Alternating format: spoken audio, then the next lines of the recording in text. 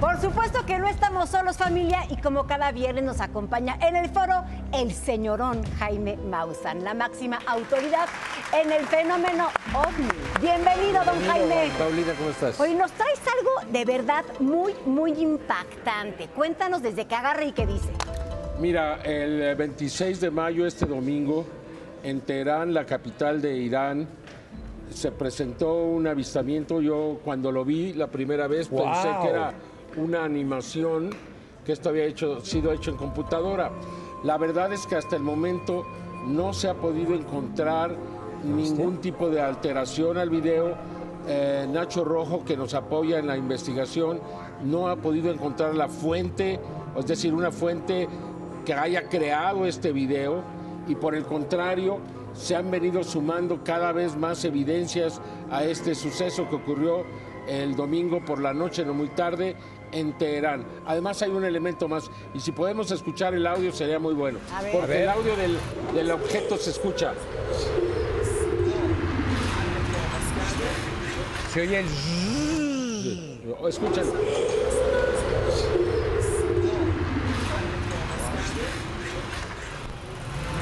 Se ve impresionante, pero me imagino que ahí no se puede es uno de mentir los tan mejores. fácil, ¿no? Pues es que en Irán la represión es muy fuerte y yo me imagino que si alguien se pone a falsificar algo así, podría ser incluso juzgado y llevado a prisión.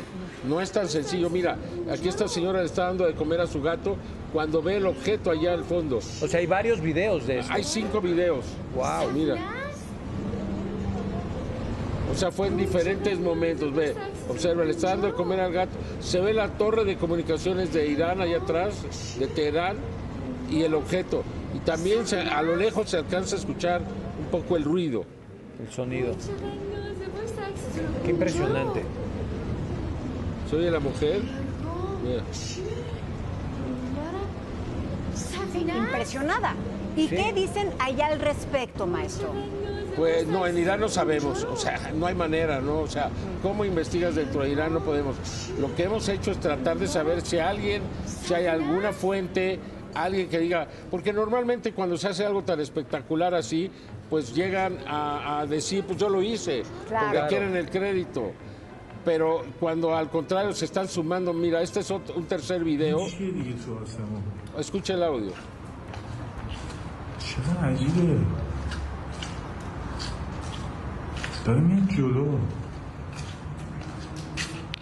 Y es el mismo objeto.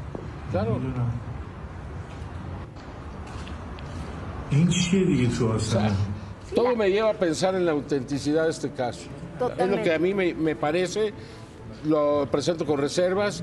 Si en algún momento sabemos quién lo hizo, se descubre que es una falsificación, aquí lo diremos. Por lo tanto, a mí me parece una evidencia eh, extraordinaria, de esas que son tan buenas que parece difícil que sean verdad. Totalmente. Pero, pero cuando se siguen presentando videos y videos, de la misma imagen, del De mismo momento, imagen. de diferentes puntos. No, es... Sí, sí, y luego el, el audio que presentan también, pues es un elemento adicional. Creo que hay otros dos videos más, no sé si se A ver, creo que hay presentar. uno más, si nos lo mira, ahí está poner, este otro, favor. mira. Este es otro, desde diferentes ángulos, diferentes distancias, todo es diferente, pero es extraordinario, ¿no? Claro, Sí. desde luego, aparte personas distintas. Oiga, maestro, lo que es un hecho es que cada vez se presentan más estos objetos. y más cerca y más claro y más yo creo que este es un proceso de comunicación de acercamiento yo creo que estas inteligencias están forzando el encuentro la comunicación porque eso es lo más importante cuando podamos comunicarnos con ellos todo va a cambiar y yo espero estar aquí para ese día decirles ya pasó y ahora el mundo va a ser distinto pero estamos muy cerca esto te demuestra que estamos muy muy cerca ¿no? Totalmente. ¿Cree que falta mucho para eso? No está en mis manos. eh, eh, sé que los por lo pronto Estados Unidos este, van a pasar muchas cosas este año en el Congreso y respecto a estos seres es cuando ellos quieran, pero veo que cada vez se acercan y se acercan más con una intención clara de iniciar un proceso de comunicación. Eso es lo que yo pienso. Y maestro, acaba de decir usted algo bien importante. Ojalá y nos toque verlos, porque ahorita que está aquí mi hija, que es una nueva generación, a ellos ya los, esto ya es más familiar Claro. para ellos. Yo le quiero hacer Sí. una pregunta, Frida. ¿Tú crees que hay vida en otro planeta? Sí. Es lo que te digo. O sea, para ellos, en nuestra época, cuando yo tenía esta edad, bueno, ni por aquí te pasaba que hubiera algo ahí arriba. No, yo, yo estoy confiado en que va a haber muchos cambios en esta misma década. Sí. Yo no creo que estemos muy lejos del contacto y, y, pues eh, hay que hacerlo y ya hay muchas personas moviéndose, iniciando este proceso de comunicación y va a ocurrir. Cuando eso ocurra, cuando suceda, vamos a estar ya del otro lado. Acepte o no acepte Estados Unidos, acepte quien sea cuando tengamos El comunicación. Vaticano, quien A lo mejor están aquí entre nosotros. Nosotros- Vean a Lechuga, por ejemplo. Y bueno, y vamos a festejar al maestro, que es su cumpleaños. ¡Feliz cumpleaños, maestro!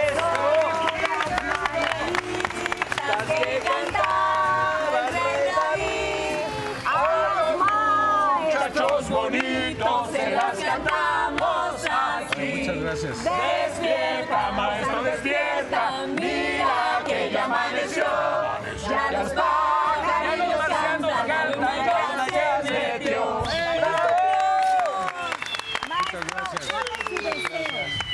Maestro, ya sé cuál es, pero ¿cuál es su deseo? Que nuestros hijos vivan en un planeta mejor. Ay, qué bonito. Feliz cumpleaños, maestro. gracias. Un aplauso Gracias. para